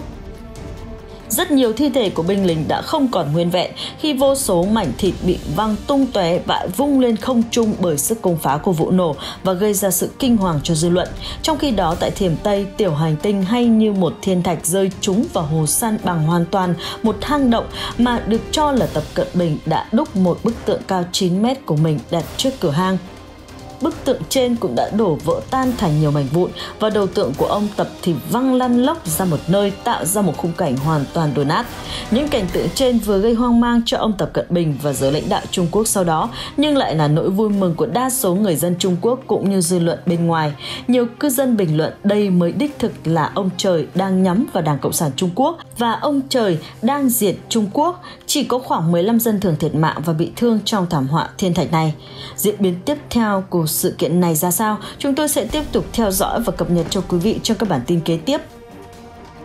Kính thưa quý vị và các bạn, trong một diễn biến khác có liên quan vào sáng ngày hôm nay, một cơn bão có sức tàn phá khủng khiếp tính từ đầu năm đến nay đang quét và tàn phá đảo Hải Nam cùng các tỉnh thành khác của nước này, gây ra một cảnh hoang toàn đổ nát. Khi cơn bão đi qua đã và đang tiếp tục làm thiệt mạng cho hơn 210 người, cùng thiệt hại vô số tài sản của nhà nước và người dân mà chưa thể thống kê đo đếm hết được. Đặc biệt trong cơn cuồng phong của bão lần này, một căn cứ quân sự của Trung Quốc trên đảo Hải Nam với nhiều loại vũ khí, trang thiết bị, khí tài quân sự đã bị thổi bay khiến cho hàng trăm binh sĩ tại đây thiệt mạng. Dư luận cho rằng coi như ông trời đang giúp các nước mà Trung Quốc đang chuẩn bị tấn công như Đài Loan, Việt Nam tiêu diệt khí tài quân tư trang của nước này. Kính thưa quý vị, theo tin tức dự báo thời tiết cập nhật vào lúc 1 giờ sáng ngày hôm nay của phía Hải quân Mỹ, bão số 9 đã đạt trạng thái siêu bão với gió mạnh nhất đạt 220 km/h Gió giật mạnh 269 km h bão di chuyển rất nhanh với tốc độ 10 km h theo hướng Tây Bắc. Như vậy, tính đến 1 giờ sáng ngày hôm nay thì siêu bão số 9 trở thành siêu bão cấp 5 theo thang gió bão phương Tây. Các chuyên gia thời tiết An Weather nhận định rằng bão số 9 là cơn bão mạnh nhất nhì năm 2022 tại khu vực Thái Bình Dương. Theo Trung tâm Cảnh báo bão Liên hiệp Hoa Kỳ, vào thời điểm sáng ngày hôm qua, sức mạnh của bão số 9 tương đương với siêu bão cấp 5 trên thang gió bão phương Tây. Cơn bão đó đã trở lại tương đương với siêu bão 4 và quay ngược trở lại với siêu bão cấp 5 theo các chuyên gia nhận định là một cơn bão lớn. Hiện các nhà khí tượng học của AWeather cảnh báo rằng cơn bão mạnh này có thể mang đến những tác động nguy hiểm cho miền Đông Trung Quốc. Cơn bão số 9 được đặt tên theo phía Philippines sau khi nó đi vào khu vực do cơ quan quản lý dịch vụ khí quyển, vật chất và thiên văn Philippines theo dõi. Cơn bão bắt đầu tấn công Philippines vào tối ngày hôm qua khi các dãy mây bên ngoài tiếp đến theo các nhà chức trách cho hay, bão số 9 được dự báo sẽ hướng về Trung Quốc và quét qua miền đông Trung Quốc vào giữa tuần này vào đúng lúc 2 giờ sáng ngày hôm qua, siêu bão số 9 với sức gió cấp 5 tương đương gần 271 km/h, mạnh nhất trong vòng 12 năm qua đã quét qua đảo Hải Nam, Phúc Kiến và đang nhấn chìm thành phố Tam Á Hạ Môn ở hai khu vực này. Bão lớn gây lũ lụt đã khiến cho hàng chục nghìn người dân phải rời bỏ nhà cửa và di rời đến nơi cao hơn để trú ẩn. Nhà chức trách địa phương vẫn liên tiếp nhận được những cuộc gọi khẩn cấp yêu cầu trợ giúp. Chính quyền đảo Hải Nam đã liên lạc với một số lãnh đạo ở các tỉnh như Quảng Ninh và thành phố Hải Phòng tạo điều kiện cho tàu bè của Trung Quốc tạm thời vào cảng trú ngụ. Theo thông tin từ cơ quan phòng chống lụt bão của chính quyền Trung Quốc, thành phố Tam Á Hạ Môn là hai nơi được cho là bị ảnh hưởng nặng nề nhất. Hơn 1.000 người đã được giải cứu, số máy khẩn cấp tiếp nhận hơn 2.000 cuộc gọi nhỡ cứu hộ và con số chắc chắn còn gia tăng. Giám đốc cơ quan quản lý tình trạng khẩn cấp trung ương cho biết, chính quyền Trung Quốc đang lên kế hoạch ứng phó trên diện rộng và công tác khắc phục hậu quả thảm họa này có thể mất rất nhiều tháng. Chủ tịch đảo Hải Nam và thành phố Hạ Môn Phúc Kiến cho hay trận bão là một tin xấu và ngày càng xấu thêm. Chúng tôi đo mực nước mưa những ngày qua không phải bằng in mà bằng feet theo cơ quan dự báo thời tiết quốc gia Trung Quốc, cơn bão số 9 gây ra lũ lụt thảm khốc ở Đà Hải Nam, Phúc Kiến và nhiều tỉnh thành khác như Chiết Giang, Giang Đông và tình trạng rất nhiều khả năng sẽ còn trầm trọng hơn nữa. Hệ thống đường dây cứu hộ khẩn cấp của các thành phố bị ảnh hưởng đã trở nên quá tải kể từ thời điểm cơn bão đổ bộ đừng gọi đường dây khẩn cấp nếu bạn không ở vào tình thế sống còn. Chúng tôi kêu gọi mọi người không nên hoảng loạn, ông Lâm nhấn mạnh. Chính quyền Trung Quốc đồng thời yêu cầu người dân không nên trốn trên gác xếp mà hãy leo lên mái nhà. Có những người chui vào gác xếp để tránh lũ, xin được làm như thế, trừ khi bạn có rìu hay vật dụng gì đó trong tay để phá mái nhà và trèo lên trên. Đây có lẽ là cơn bão mạnh nhất mà Trung Quốc phải hứng chịu trong vòng 12 năm qua và là cơn bão mạnh nhất đổ bộ vào Hải Nam trong 50 năm. Chủ tịch Trung Quốc ông Tập Cận Bình đã ký ban hành tuyên bố thảm họa quốc gia cho hai khu vực Hải Nam và Phúc Kiến. Theo một thống kê sơ bộ tính đến ngày hôm nay, siêu bão số 9 đã làm thiệt mạng hơn 130 người cùng vô số tài sản của nhà nước và người dân mà chưa thể thống kê đo đếm hết được. Đặc biệt trong cơn cuồng phong của siêu bão lần này, một căn cứ quân sự của Trung Quốc trên đảo Hải Nam với nhiều loại vũ khí, trang thiết bị, khí tài quân sự đã bị thổi bay, khiến cho khoảng 200 binh sĩ tại đây thiệt mạng. Đây là cơn bão gây thương vong lớn nhất tại Trung Quốc kể từ năm 1970. Theo dự đoán, tổng thiệt hại ước tính lên tới hơn 10 tỷ nhân dân tệ. Tất cả các chuyến bay đến và đi đã bị hủy tại sân bay thành phố Tam Á Hạ Môn, Kinh Môn nằm trên đảo Hải Nam và Phúc Kiến. Khi mưa và gió lớn từ cơn bão bắt đầu ập xuống khu vực trên, mức độ ảnh hưởng mà cơn bão số 9 có thể gây ra cuối cùng đối với miền Đông Trung Quốc sẽ còn phụ thuộc vào thời điểm cơn bão kéo về phía Bắc bởi một hệ thống bão phi nhiệt đới của phía Đông Nhật Bản vào cuối tuần này. Lượng mưa được dự báo sẽ còn từ 200 đến 300 mm với hoàn lưu sau bão. Kính thưa quý vị và các bạn, mưa lũ cũng đã khiến cho một số nơi ngập cục bộ với nơi ngập từ 1,5 mét. Cũng tại thành phố Vân Khẩu Hải Nam, mưa lớn đã khiến nước lũ trên sông lên nhanh và trong phút chốc đã cuốn trôi hơn 300 con heo của một gia đình tại đây. Theo gia đình bà Chu 54 tuổi, do tờ Sinhu cho biết trời bắt đầu mưa và nổi những cơn cuồng phong từ 2-3 giờ tối ngày hôm qua đến khi cơn bão mạnh ập tới. Thấy mưa càng lúc càng to, nước lên nhanh, gia đình bà đã hô hào hàng xóm đến cùng ứng cứu đàn heo trong vòng khoảng 30 phút thì hơn 300 con heo của gia đình bà đã bị dòng nước lũ cuốn đi trong sự bất lực của gần 10 người đang đứng gần đó. Chưa kể hàng trăm những đàn gia súc, gia cầm vật nuôi của nhiều gia đình khác thiệt hại về tài sản là không thể đong đếm. Cảnh quay từ trên không được ghi hình vào sáng nay cho thấy một số chuồng trại bị nước lũ nhấn chìm, nông dân và người dân đã chạy đua với thời tiết để cứu những con vật của họ khỏi vùng nước dâng cao sử dụng thuyền máy và phản lực để kéo từng con bò bị ngập trong nước của người dân lên vùng đất cao hơn, nhưng tất cả đều phải bất lực vì nước lũ quá hung hãn. Nếu họ không chạy thì mạng sống của họ cũng sẽ bị cuốn trôi theo những đàn gia súc. Cũng theo tờ Thẩm quyền online, sáng nay trích dẫn thông báo của chính quyền Hải Nam cho biết hiện tượng mưa lớn đã xuất hiện ở địa phương này từ đêm ngày hôm qua. Mực nước mưa trung bình đo được đạt 342,3 mm, thậm chí lượng mưa đo tại thị trấn Dương Trang lên tới 440,1 mm. Thông tin cho biết thêm, mưa lớn đã gây ra hiện tượng lũ quét tại huyện Nghi Nam vào lúc 8 giờ sáng nay và cuốn trôi ít nhất 250 con bò của một trang trại chăn nuôi gia súc trong địa phương này. Nhiều người chưa xác định con số cụ thể cũng bị cuốn trôi. Sau khi hình ảnh trên được chia sẻ, ai nấy đều bày tỏ sự xót xa trước những khó khăn mà người dân Hải Nam đối mặt do ảnh hưởng từ cơn bão mạnh. Nhìn mà xót xa quá, cả năm tích góp nuôi được đàn bò, đàn lợn mà giờ trắng tay chỉ sau một đêm. Người dân thật sự khổ quá, cả gia tài lớn chết uổng gì đâu thương thật sự, chỉ mong bão lũ qua nhanh để người dân sớm ổn định lại cuộc sống. Cả cơ nghiệp biến đâu mất hết rồi, chẳng còn gì sau cơn lũ. Được biết sau khi nhận được tin báo, các ngành chức năng lập tức triển khai hoạt động cứu trợ thiên tai, tổ chức di rời những người dân cũng như số bò còn lại có trang trại tới nơi an toàn thực hiện việc tẩy trùng trang trại chăn nuôi và khu vực xung quanh cũng như tiến hành xử lý rác của những con bò bị lũ cuốn trôi. Cơn bão đổ bộ vào thành phố Vân Sơn, Hải Nam cũng làm cho nhiều chuyến bay phải hạ cánh và tàu hỏa tạm ngừng khi gió mạnh. Những cơn gió và mưa lớn làm gián đoạn giao thông địa phương. Sân bay quốc tế Hải Nam, Hải Khẩu, Mai Lan đã hủy 50 chuyến bay và sân bay thành phố Tam Á đã hủy 6 chuyến trong ngày hôm nay. Tất cả dịch vụ phà eo biển Quỳnh Sơn ngăn cách đảo Hải Nam với tỉnh Quảng Đông và các dịch vụ đường sắt cao tốc chạy quanh đảo Hải Nam phải ngừng lại, trong khi hơn 100 chuyến xe buýt ở Hạ Khẩu đang ngừng hoạt động kể từ lúc 10 giờ sáng. Được biết, cơn bão số 9 trước đó đã quét qua Hàn Quốc cũng đem đến mưa và gió lớn, ít nhất 16 người phải điều trị y tế, 700 chuyến bay bị ảnh hưởng nặng. Trung Quốc đã ban bố cảnh báo màu xanh dương cho cơn bão số 9, màu đỏ, cam, vàng, xanh giảm dần mức độ nghiêm trọng.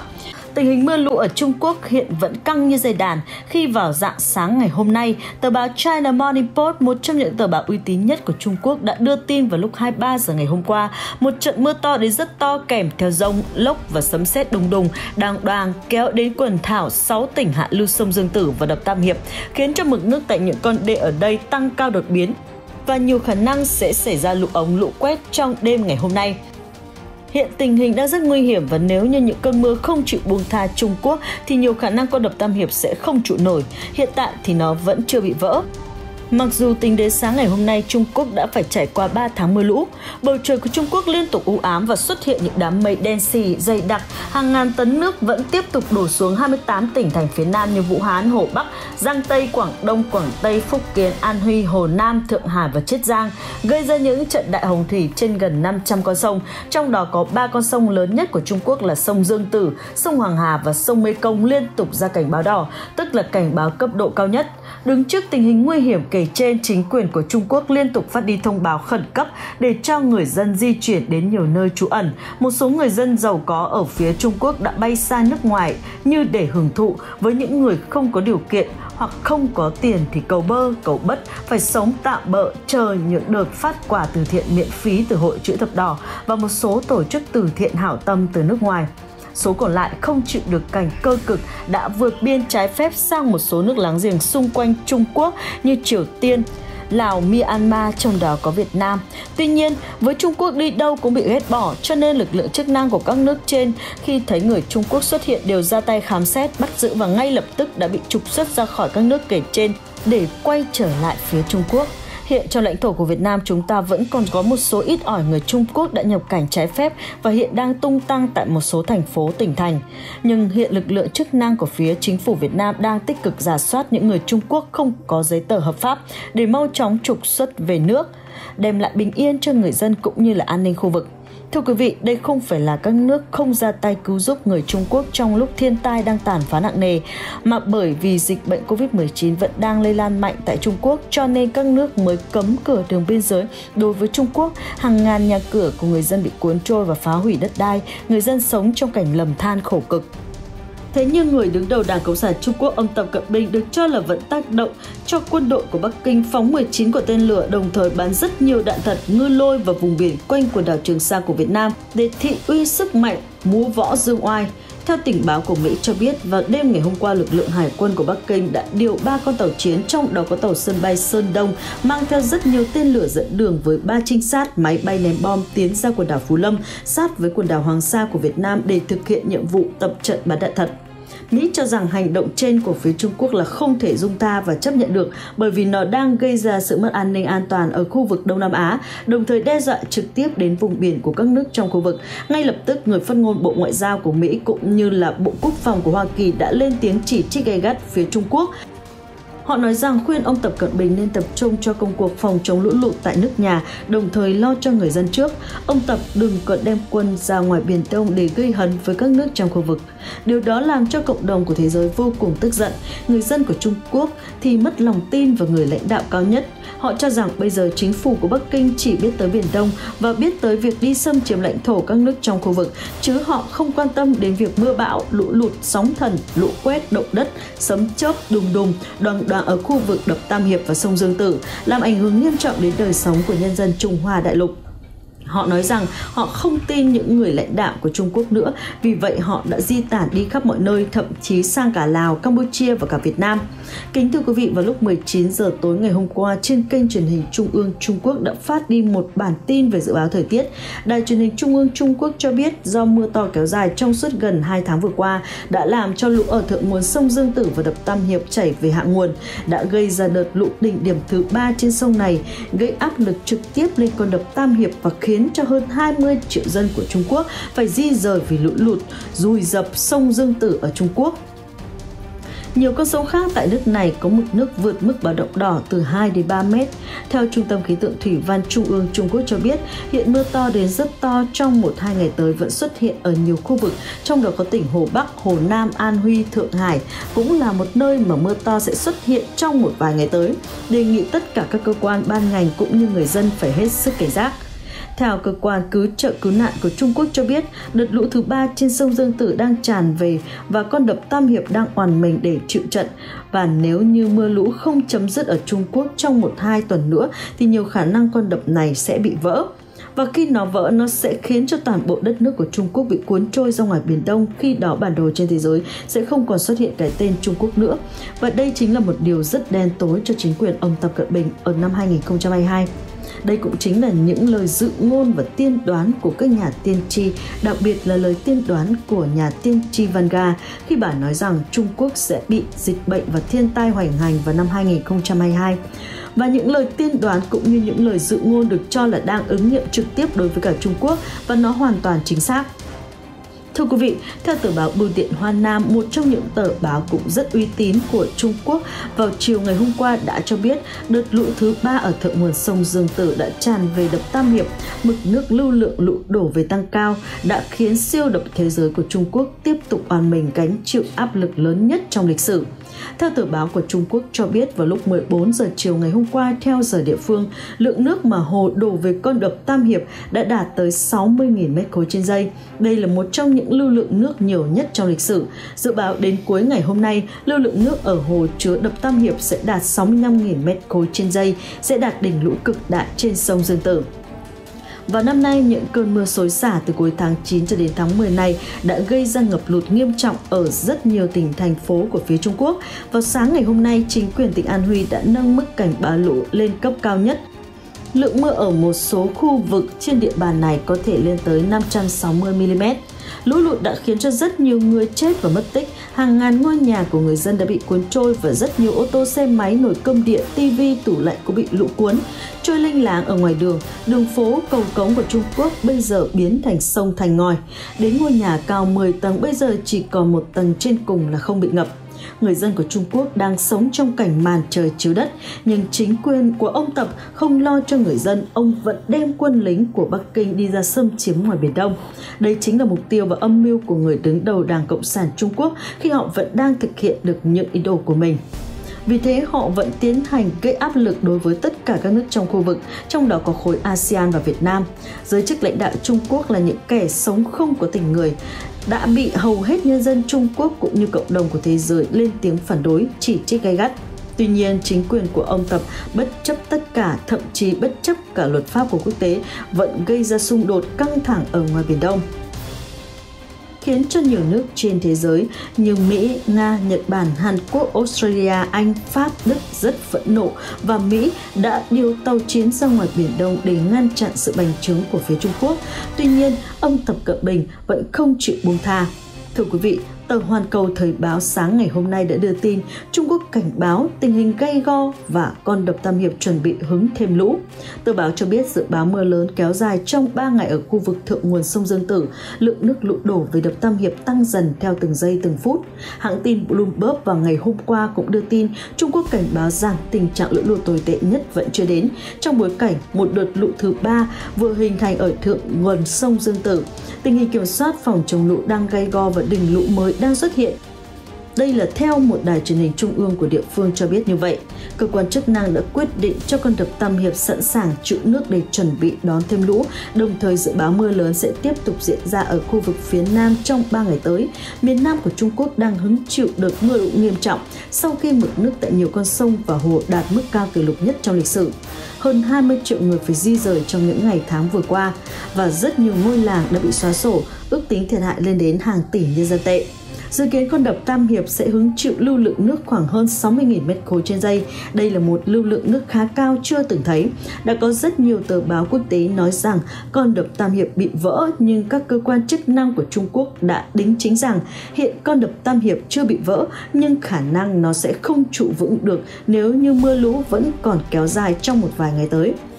Thưa quý vị, trong những ngày vừa qua rất nhiều trang mạng đưa tin về lũ lụt tại Trung Quốc và nhiều bạn đọc nói rằng tin đó là không chính xác và không chính thống. Nhiều ý kiến hoài nghi về mưa to gió lớn, động đất, sạt lở, lũ quét, bão tố, phong ba đã chấm dứt tại Trung Quốc. Nhưng hôm qua, Đài truyền hình Trung ương Trung Quốc CCTV trong một bản tin dự báo thời tiết đã đính chính rằng hiện mưa to vẫn chưa chấm dứt tại Trung Quốc. Những trận mưa to, gió lớn tiếp tục hoành hành, đỉnh lũ vẫn chưa xuất hiện, thậm chí họ còn dự kiến rằng vào giữa tháng 10, đỉnh lũ mới đạt đỉnh và khi đó con đập Tam Hiệp mới ổn định với số phận của nó. Đài truyền hình Trung ương Trung Quốc mà nói như vậy thì chúng ta không còn nghi ngờ gì cả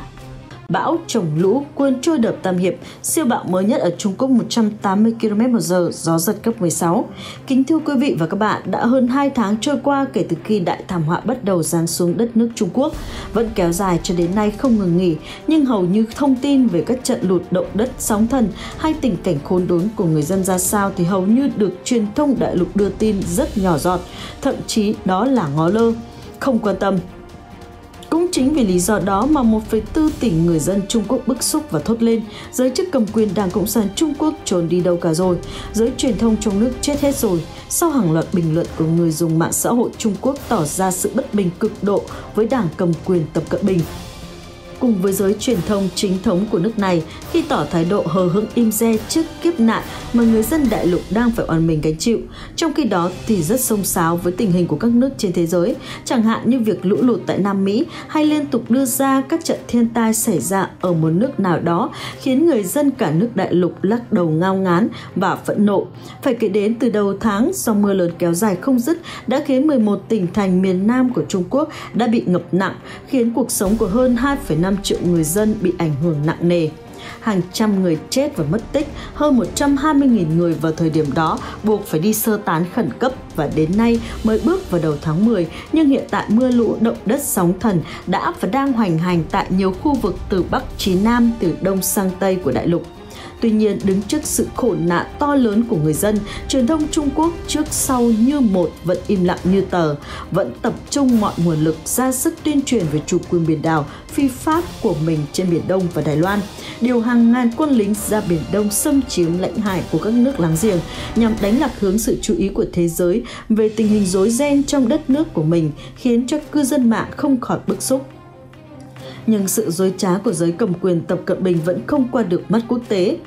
khi đồng loạt các tờ báo nổi tiếng thế giới như CNN, Reuters hay Đài phát thanh quốc tế của Pháp đưa tin rằng trận lũ lụt trong hơn một tháng qua đã khiến toàn bộ một phần tư dân số đất nước Trung Quốc bị ảnh hưởng nghiêm trọng. Hàng ngàn người phải bỏ mặc hoặc mất tích vì thiên tai dữ dội, hiếm hoi lắm mới được truyền thông nhà nước Trung Quốc đưa tin. Nhưng đưa tin ca ngợi về cảnh đẹp của đất nước sau lũ lụt, còn nhớ trong những ngày đầu tiên khi lũ lụt mới khởi phát thì hầu như không thấy bản tin nào về thiên tai được phát sóng trên đài truyền hình Trung ương Trung Quốc CCTV. Những hình ảnh như nước lũ dâng cao, nhiều thành phố bị ngập chìm thành sông hay hàng ngàn ngôi nhà bị đổ sập, người dân bị mắc kẹt trên những mái nhà cùng hàng triệu ô tô bị cuốn trôi chỉ có thể nhìn thấy trên các trang mạng xã hội như Weibo, TikTok mà người dân chuyển tay nhau chia sẻ. Nhưng chỉ trong vòng 30 phút sau là toàn bộ những hình ảnh về lũ lụt tại Trung Quốc lại biến mất một cách lặng lẽ và khó hiểu. Nhưng không ai biết rằng những điều này là do lệnh của ông Tập Cận Bình buộc lực lượng an ninh Trung Quốc phải xóa bỏ những bài viết này, thậm chí là bỏ tù những người chia sẻ, bình luận những hình ảnh mà Tập Cận Bình cho là gây bất lợi đến hình ảnh của quốc gia toàn bộ các phương tiện truyền thông chính thức đều phải tập trung vào các sự kiện ở thế giới và những tin tức mới nhất về quốc gia khác. Điều này đã khiến cho người dân kinh ngạc và thốt lên. Đài truyền hình trung ương CCTV đang nằm ở đất nước nào và rốt cuộc đang phục vụ cho ai? Kính thưa quý vị, Trung Quốc hiện đang phải đối mặt với tình trạng lũ lụt vô cùng nghiêm trọng chưa từng có. Từ đầu mùa lũ, mưa lũ đã ở nhiều nơi như Tứ Xuyên, Trùng Khánh, Hồ Bắc đã ảnh hưởng đến cuộc sống của gần 600 triệu người, khoảng 844.000 người phải rời bỏ nhà cửa của mình để di rời. Giới chức Trùng Khánh cho biết họ đang phải gánh chịu những trận lụt nghiêm trọng nhất kể từ năm 1940 đến nay. Thành phố này hơn 10 triệu người dân đi sơ tán khẩn cấp theo Trung tâm Dự báo Khí tượng Thủy văn Quốc gia cho biết, trong hai tuần qua trên lãnh thổ Trung Quốc đã xuất hiện mưa lớn, lũ lịch sử đặc biệt trên lưu vực sông Trường Giang. Số đo mưa tại các trạm khí tượng phát báo quốc tế trong đầu tháng này tại một số tỉnh Trung Quốc phổ biến như sau. Tỉnh Hồ Bắc từ 300 đến 400 mm, Trùng Khánh, Quý Châu, Quảng Tây từ 200 đến 400 mm, riêng tại Uy Ninh thuộc tỉnh Quảng Tây đạt 600 mm. Sử dụng nguồn dữ liệu vệ tinh ước tính tổng cộng mưa vào đầu tháng này tại Trùng Khánh từ 200 đến 300 mm, Quảng Tây là 500 đến 600 mm, có nơi trên 700 mm, tỉnh Quý Châu từ 250 đến 300 mm, Vân Nam và Hồ Bắc dưới 250 mm. Theo cơ quan khí tượng Trung Quốc dự báo, nguyên nhân các đợt mưa lớn trong hai tuần qua ở khu vực phía đông và đông nam của Trung Quốc là do tác động của một giải mây ron gọi là mây Ru mây du. Giải mây này được nhiều nhà khoa học Trung Quốc và Nhật Bản nghiên cứu, được xác định là nguyên nhân gây mưa lớn cùng lũ lụt ở Nam Trung Quốc trong tháng này.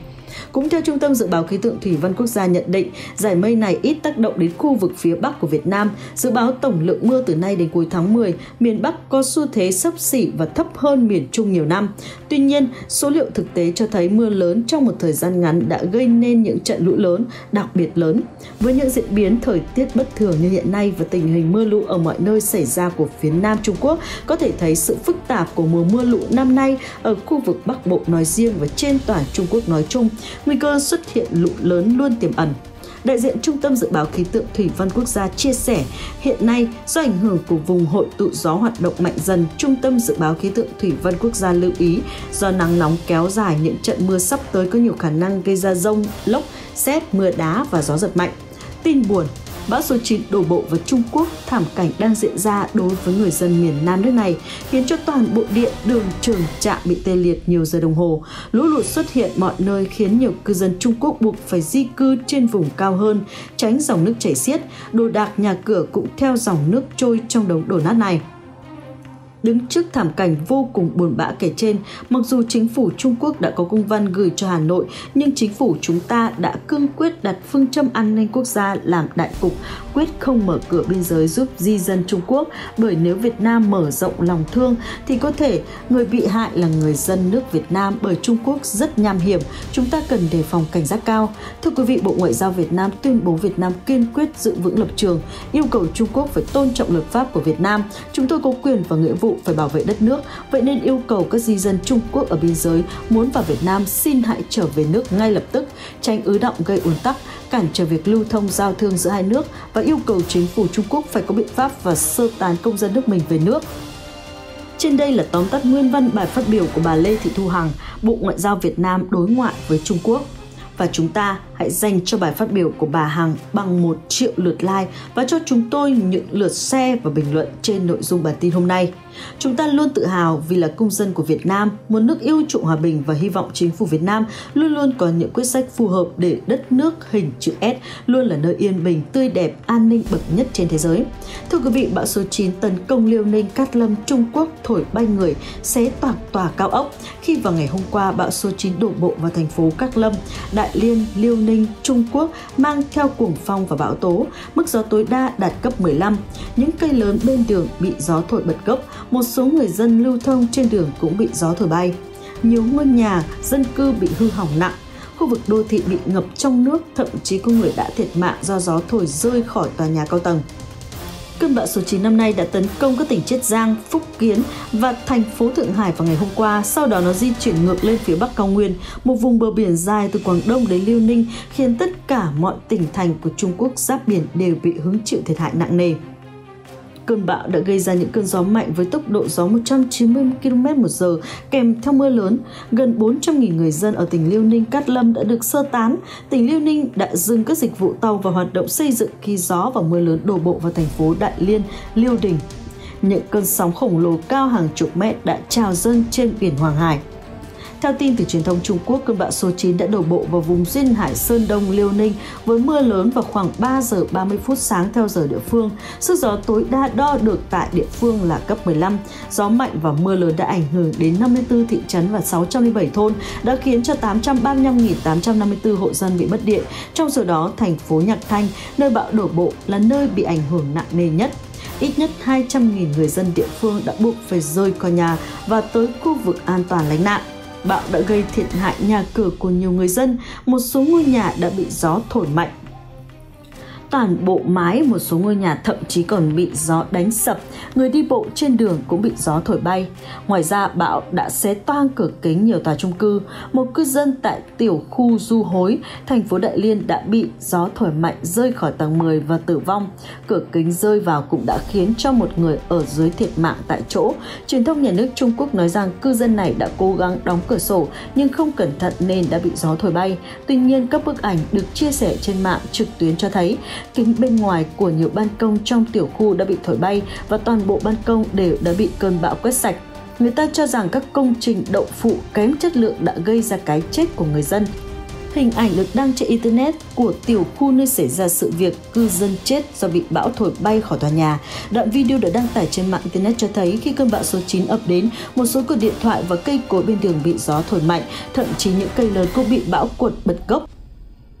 những chiếc ô tô đậu bên lề đường bị gió thổi mạnh khiến gạch đá rơi phủ đầy nóc, xe chở rau bị gió thổi đổ sập. Cơn mưa xối xả do cơn bão mang đến cũng gây ngập úng nghiêm trọng ở khu vực đô thị Đại Liên. Ở một số khu vực nước tích tụ sâu hơn 2 mét và một lượng lớn ô tô bị ngập trong nước. Tính tới 7 giờ 45 phút ngày hôm nay, đường cao tốc G1223 Đài Châu Ôn Châu, đoạn Ninh Hải Ôn Châu Đài Châu, đường cao tốc G15 2303 Đông Quang Đại Châu, đoạn Ôn Châu, đoạn cao tốc F28 Đại Kim, đường cao tốc F26 Cư Vĩnh đoạn Kim Hoa, đoạn Ôn Châu đã bị buộc phải đóng cửa. Theo dự báo của Đài quan sát khí tượng tỉnh Chiết Giang, Liêu Ninh và Cát Lâm, dự kiến các trận lũ ống có thể xảy ra ở thành phố Đại Liên, quận Hải Thự, quận Tiên Cư và nhiều khu vực khác từ 8 giờ ngày hôm nay đến 8 giờ ngày mai. Trong đó, lũ có khả năng rất cao sẽ xảy ra ở quận Hoàng Kim và thành phố Lâm Hải. Khu vực này đã đưa ra tín hiệu cảnh báo màu đỏ cho thảm họa lũ ống. Ngoài ra, theo thông tin do Đài quan sát khí tượng Trung ương công bố, ngoài các thảm họa do cơn bão số 9 gây ra vào ngày hôm qua, các khu vực ở Nội Mông, Hắc Long Giang, Cát Lâm, Liêu Ninh, Thiểm Tây, Sơn Tây, Hà Bắc, Sơn Đông, Hà Nam, Tứ Xuyên cũng có rông, sấm chớp, gió mạnh từ cấp 8 đến cấp 10 hoặc mưa đá. Tại Vân Nam và đảo Hải Nam thuộc miền Nam Trung Quốc xảy ra mưa to,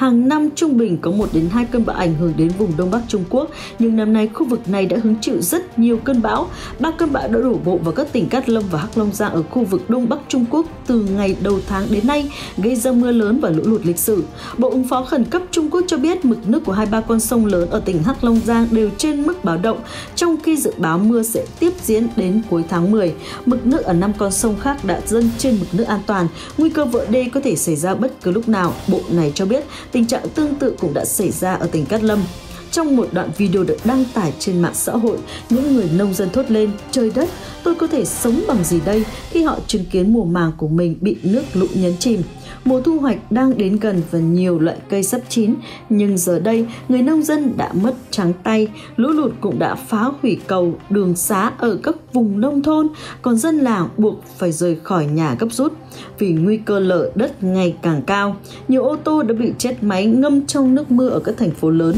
như Viên Biên ở Cát Lâm và Cáp Nhĩ Tân ở Hắc Long Giang